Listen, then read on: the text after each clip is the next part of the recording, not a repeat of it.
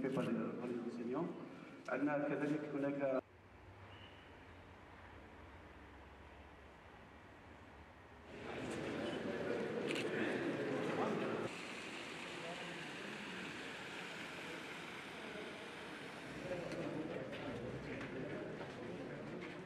Donc,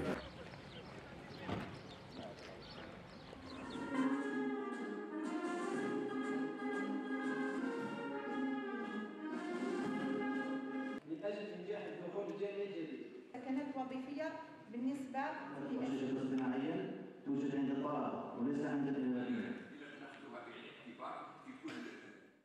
venus voir et superviser les projets qui ont été lancés dans ce cadre-là. Nous avons constaté qu'ils ont connu beaucoup de retard et c'est pour cette raison que je suis venu pour euh, vérifier et aussi prendre un certain nombre de mesures pour pouvoir accélérer la cadence et les réceptionner au titre de la rentrée universitaire 2022-2023.